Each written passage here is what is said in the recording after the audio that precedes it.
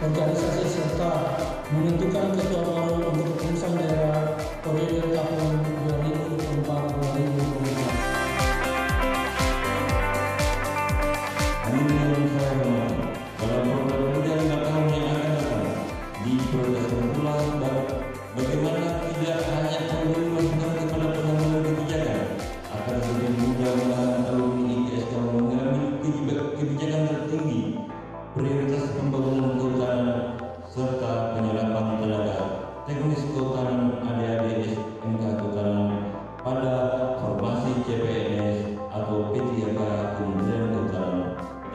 pemerintah daerah sehingga investasi yang telah dikeluarkan Kementerian PHK untuk mencetak tenaga kerja berjalan tidak sia-sia.